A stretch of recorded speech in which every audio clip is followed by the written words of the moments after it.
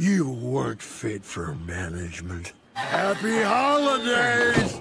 Frank, what are you doing? We're done here. You are, but I'm not. What are you doing?